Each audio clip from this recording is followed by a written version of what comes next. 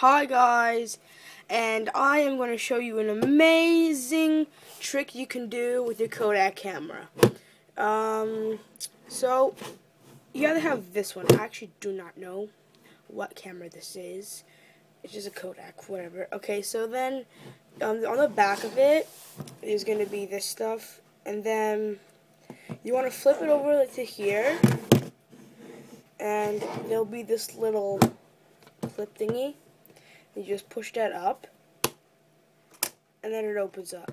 And that is an amazing little hideout hiding place. You can put your stuff in there. It's actually really good. You can put maybe a key or something. Lock that in there. You can put um, maybe you can put thingy of gum in there you don't want anybody stealing your candy. And you also put like money. Put like secret little codes in there. Just roll that little thing up. And you just stick your little notes in there.